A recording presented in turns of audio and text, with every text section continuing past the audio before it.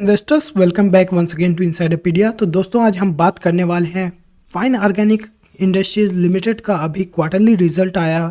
तो अभी हम देखेंगे क्वार्टरली रिज़ल्ट कैसा आया और उसी के साथ साथ कुछ इन्वेस्टिंग के नए कॉन्सेप्ट भी सीखेंगे। तो चलिए चलते हैं, देखते हैं। यूजुअली जब हमारे सामने कोई कंपनी आती है तो सबसे पहले हम ये देखते हैं कि उसका प्राइस क्या है और उसका पी क्या है।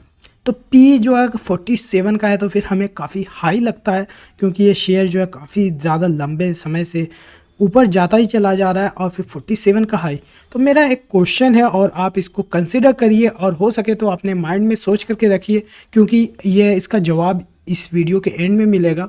और नहीं तो फिर कमेंट सेक्शन में लिख लीजिए ताकि मुझे भी पता लग सके कि आप क्या सोच रहे हो.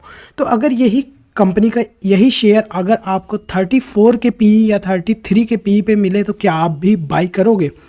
मेरा कहने का मतलब ये है कि अभी करंट टाइम में इसका पी जो है 50 का चल रहा है। क्या अभी 47 या अप्रॉक्सीमेटली 50 के पास, आसपास चल रहा है? अगर यही 30 बत्तीस या 35 35 के अंदर का हो 33 34 का पी हो तो क्या इसे बाई करोगे? तो ये है, अगर आपका जवाब है कि हाँ बाय करोगे तो कमेंट सेक्शन में लिखो कि yes I will buy at a P of thirty three और चलिए देखते हैं कि क्यों, चूँकि ये कंपनी का शेयर तब से मैं देख रहा हूँ जब इसका शेयर प्राइस कहीं जो है 2000 के आसपास ट्रेड कर रहा था यहाँ पे और तब से लेकर के ये शेयर सात हज़ार रुपये का चला गया, अभी छः हज़ार रुपये का ट्रेड कर रहा है। और चलिए चलते हैं और जो चीज़ आपको सामने डिस्कस करना है वो है क्वार्टरली रिज़ल्ट, वो कैसा आया है और उस पर चलिए डिस्कस करते हैं। तो जैसा कि देखें, यहाँ पे क्वार्टरली रिज़ल्ट की अगर बात करें तो इनका जो रेवेन्यू है, यानी टॉप लाइन जो है नौ सौ नाइन थर्टी एट करोड़ का हो गया ये अभी जो है अपडेट नहीं हुआ है तो यहाँ पे मैंने पीडीएफ निकाली हुई है। इन लैख में दिया हुआ है तो यहाँ पे अगर देखें ये वाला जो डेटा है तो 938 करोड़ रुपीज़ है, जो कि लास्ट ईयर की बात करें तो ये था 438 करोड़ ऑलमोस्ट डबल से भी ज़्यादा हो गया है। अभी यहीं पे दूसरी चीज़ देखें कि जो इनका प्रॉफिट थे और 938 करोड़, ये जून क्वार्टर से भी ज़्यादा है। और वहीं पे अगर आए नीचे और देखें, इनका जो है ईपीएस e यानी अर्निंग पर शेयर एक शेयर के पीछे की अर्निंग क्या है? तो सिक्सटी सिक्स रुपीज़ हो गई है, जो लास्ट ईयर सिक्सटीन रुपीज़ थी, सोलह रुपये थे, वो बढ़ करके सिक्सटी सिक्स हो गई है, छाछठ रुपये हो गई है, और फिफ्टी टू से भी ज़्यादा है सिक्सटी सिक्सटी सिक्स हो गई है। तो ये देख सकते हैं कि कितनी अच्छी ग्रोथ है। अब जो है हमारे मेरा जो पी वाला कंसर्न था यूजुअली हम ये इसलिए बाय नहीं करते कि पी हाई है। लेकिन कोई भी पी हाई नहीं होता, अगर उसकी ग्रोथ हो, जिस हिसाब से इसमें ग्रोथ दिख रही है, जो 16 का पी जो है, आपका 66 का हो गया, जो कि चार रेवेन्यू डबल हो गया। है अब इस हिसाब से जो है, अगर हमारा आज का अभी पी अगर ये अपडेट हो जाता तो ये अभी ऑटोमेटिकली अपडेट हो जाएगा। लेकिन अच्छी बात यह है कि अभी अपडेट नहीं हुआ है तो करंट में 47 का पी देख सकते हैं। आप इस वीडियो को बन जाए तो कल देखिएगा। आज डेट है हमारे कैलेंडर में। आज डेट है टेंथ नवंबर।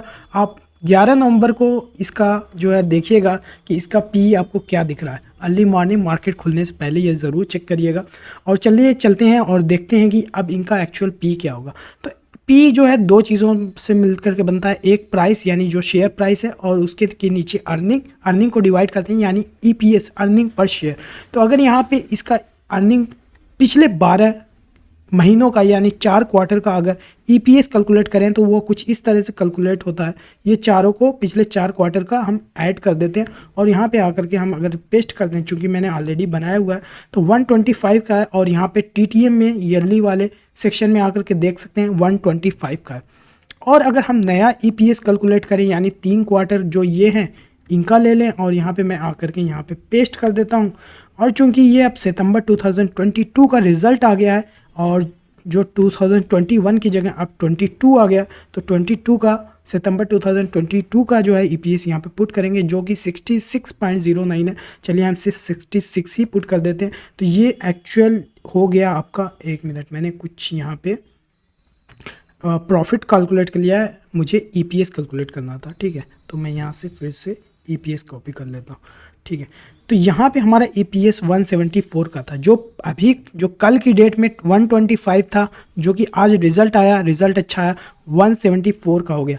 अब वन सेवेंटी फोर को करंट शेयर प्राइस से डिवाइड कर दे। करंट कंपनी का शेयर प्राइस चल रहा है 5938 तो मैं यहाँ पे गूगल पे लिखूँगा 5938 डिवाइडेड बाय और जो हमारा ईपीएस e निकल गया, अब ये पी निकल के आ गया 33 का। तो आप समझ सकते हैं कि ये पी हमारा 33 का आ गया और अभी पी दिख रहा है 47 का। जैसे अभी ये अपडेट होगा, हो सकता है एक दो घंटे में स्क्रीनर पे अपडेट हो जाए तो ये पी तुरंत आपको जो है 33 का दिखने लगेगा। इसलिए कहते हैं कोई पी जो है 50 का पी हाई नहीं होता। अगर वो कंपनी की ग्रोथ होती रहेगी यूजली होता यही है कि कंपनी की प्रॉफिट बढ़ती जाती है और हर टाइम जब कंपनी का नया क्वार्टरली रिज़ल्ट आता है तो पी घट जाता है, फिर शेयर प्राइस फिर भागता है। फिर हमें लगता है कि ये शेयर काफ़ी ओवर वैल्यूड है, फिर कंपनी की ग्रोथ होती है, फिर कंपनी का पी घट जाता है और इस तरह से देख सकते हैं कि ये पी जो है, जब मैंने बाई की, करने के लिए सोच रख, रहा था कि उस टाइम ईयर 2020 में तो ये पी 60 का दिख रहा था, जो कि काफ़ी हाई था। अभी भी 60 का नहीं है, बल्कि 47 का है, क्योंकि इसकी अर्निंग बढ़ते चली जा रही है। बस क्या इस कंपनी में मैं इन्वेस्ट करूँगा? कंपनी अच्छी है ग्रोथ है बिज़नेस सब कुछ मोट है अच्छा कंपनी का कंपटेटिव एडवांटेज है, लेकिन रिसेंट में इतनी ज़्यादा ग्रोथ क्यों आ रही है, उसका मुझे कोई रीज़न नहीं पता लग रहा क्योंकि यहाँ पे conference call earning conference call कोई हो नहीं रही। तो मैनेजमेंट का जो मैंने इंटरव्यू सुना, वो काफ़ी तीन चार साल पुराना जब आईपीओ के टाइम का इंटरव्यू था तो मुझे एक्चुअली पता नहीं लग पा रहा है कि ये जो ग्रोथ है सस्टेनेबल ग्रोथ है, या टेम्परेरी किसी डिमांड की वजह से सप्लाई डिमांड गैप की वजह से तो ये जानना काफ़ी ज़रूरी है कि ये जो ग्रोथ हो रही है, अगर ये सस्टेनेबल है तो ये थर्टी थ्री का पी काफ़ी अंडर वैल्यूड हो सकता है। लेकिन अगर किसी सप्लाई डिमांड के थ्रू अगर ये ये जो है प्रॉफिट ग्रोथ हो रही है अर्निंग्स ग्रोथ हो रही है, अदरवाइज़ फिर इशू है। इसीलिए जो है मैनेजमेंट की कमेंट्री सुनना काफ़ी इंपॉर्टेंट हो जाता है। जो कि अभी मेरे पास नहीं है, जो मैं इसको समझ नहीं पा रहा हूँ, इसलिए मैं इस कंपनी को अभी करंट के टाइम पे अवॉइड कर रहा हूँ। तो उम्मीद करता हूँ ये वीडियो अच्छा लगा होगा। अच्छा लगा तो लाइक करें और चैनल को सब्सक्राइब कर लें इस तरह की वीडियो और आपको इसी चैनल पर मिलते रहेंगे। तब तक के लिए take care have a good day